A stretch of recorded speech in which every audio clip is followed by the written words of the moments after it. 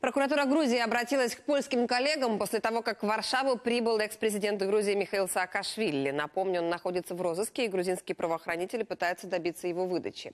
По информации польских СМИ, бывший председатель Одесской УГА, который был лишен украинского гражданства, приехал в Польшу для участия в мероприятии в честь годовщины Варшавского восстания.